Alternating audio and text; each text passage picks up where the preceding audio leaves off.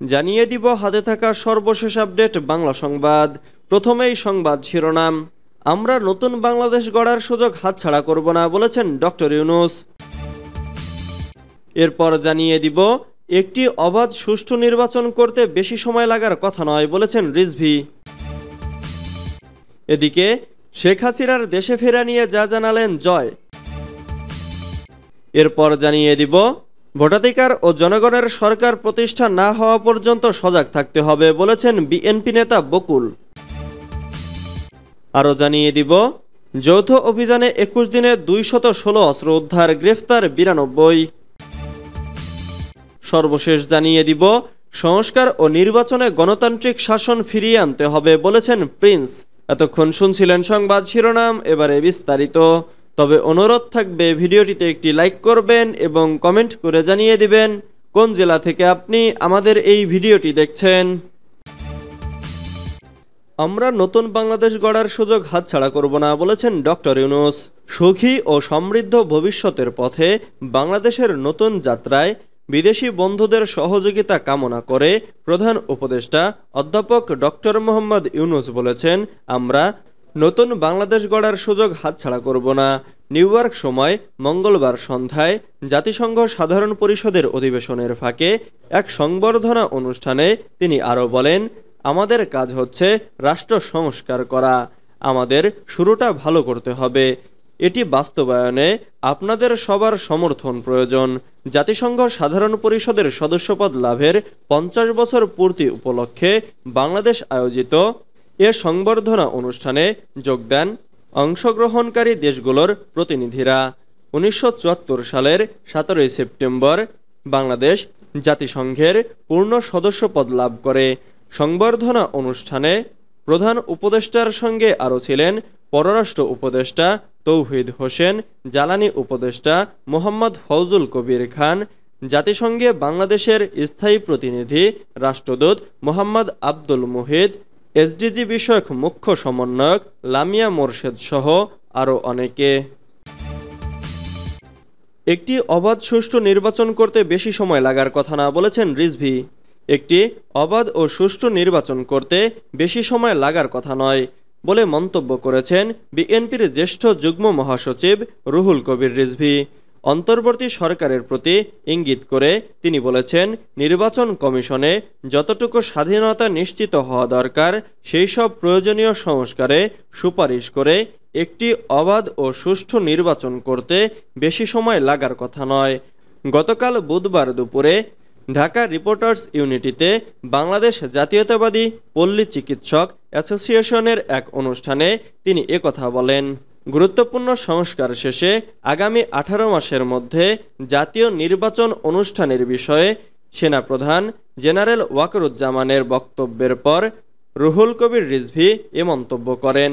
বিএনপির জ্যেষ্ঠ যুগ্ম মহাসচিব বলেন, আমাদের রাষ্ট্রীয় সংবিধানকে তারা কেটে টুকরো টুকরো করে নিজেদের মতো করে একটা মুড়ির ঠোঙা বানিয়েছে। মানে ওই ঠোঙা থেকে তিনি যখন মনে করবেন মুড়ি নিয়ে খাবেন আবার রেখে দেবেন। তিনি বলেন, এখন এই সংবিধানের আসল সারমর্ম জনগণের নাগরিক অধিকার, অবাধ ও সুষ্ঠু নির্বাচন করার জন্য নির্বাচন কমিশনকে যতটুকু ক্ষমতা দেওয়া দরকার, সেই সব প্রয়োজনীয় সংস্কারের সুপারিশ করে অবাধ সুষ্ঠু নির্বাচন করা প্রয়োজন। শেখ হাসিনার দেশে ফেরা নিয়ে যা জানালেন জয়। ছাত্র ব্যাপক আন্দোলনের মুখে প্রধানমন্ত্রীর পদ থেকে পদত্যাগ করে গত মাসে ভারতে পালিয়ে যাওয়া শেখ হাসিনার দেশে ফেরা নিয়ে কথা বলেছেন তার ছেলে সজীব ওয়াজেদ জয়। বুধবার যুক্তরাষ্ট্রের ওয়াশিংটন ডিসি থেকে ব্রিটিশ বার্তা সংস্থা রয়টার্সকে দেওয়া এক সাক্ষাৎকারে জয় বলেছেন, দেশে ফেরার বিষয়টা শেখ হাসিনার ওপর নির্ভর করবে। এর আগে গত মাসে রয়টার্সকে দেওয়া এক সাক্ষাৎকারে সজীব ওয়াজেদ দাবি করেছিলেন যে শেখ হাসিনা দেশে ফিরে বিচারের মুখোমুখি হবেন এবং পরবর্তী নির্বাচনে আওয়ামী লীগ অংশ নিতে চায়। বাংলাদেশের গণ আন্দোলনে হত্যাকাণ্ডের ঘটনায় শেখ হাসিনার বিচার দাবি করেছে শিক্ষার্থীরা। এমন প্রেক্ষিতেই তিনি ওই কথা বলেন, তবে শেখ হাসিনা দেশে ফিরবেন কিনা মঙ্গলবার জানতে চাওয়া হলে জয় বলেন, এটা তার সিদ্ধান্ত। এ মুহূর্তে আমি আমার দলের লোকজনকে নিরাপদে রাখতে চাই। ইউনুস সরকার তাদের ওপর যে নিষ্ঠুরতা চালাচ্ছে, সেটাকে আমি বিশ্ববাসীর কাছে তুলে ধরতে চাই। বাংলাদেশে আগামী দেড় বছরের মধ্যে নির্বাচন হওয়া উচিত বলে সেনাপ্রধান যে মন্তব্য করেছেন, তাতে সন্তোষ প্রকাশ করেছেন সজীব ওয়াজেদ জয়। তিনি বলেছেন, আওয়ামী লীগকে বাদ দিয়ে কার্যকর কোনো সংস্কার বা নির্বাচন করা অসম্ভব।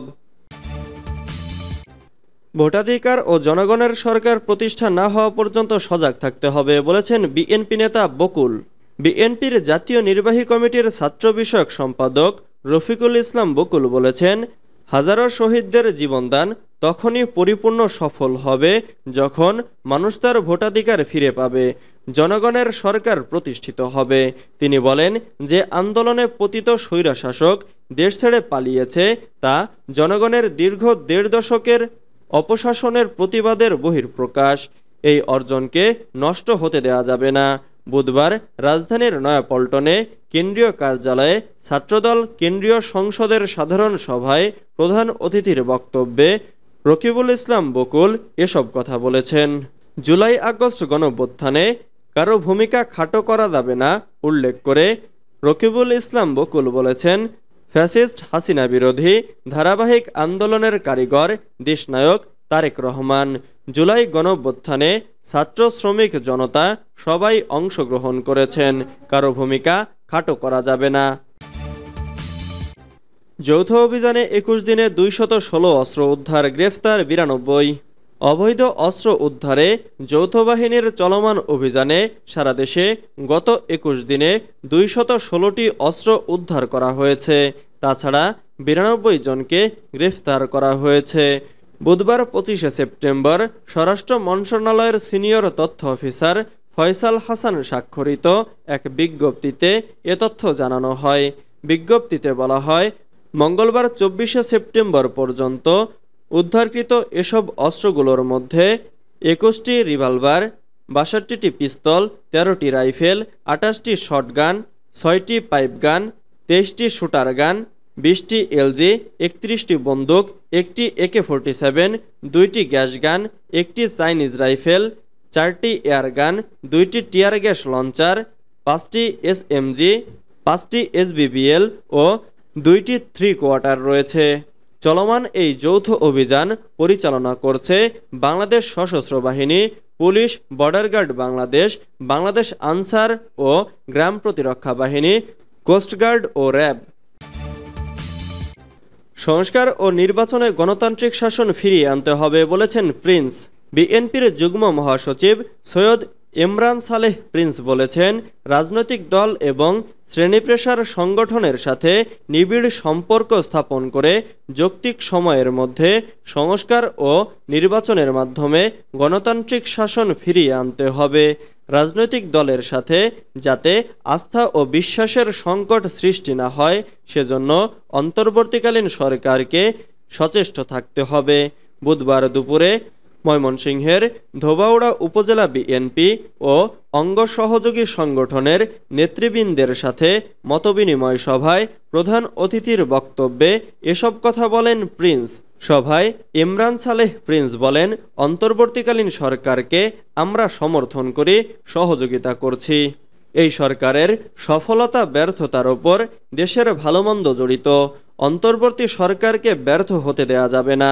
ভোটাধিকার ও গণতন্ত্রের জন্য জনগণ দীর্ঘদিন আন্দোলন সংগ্রাম করেছে।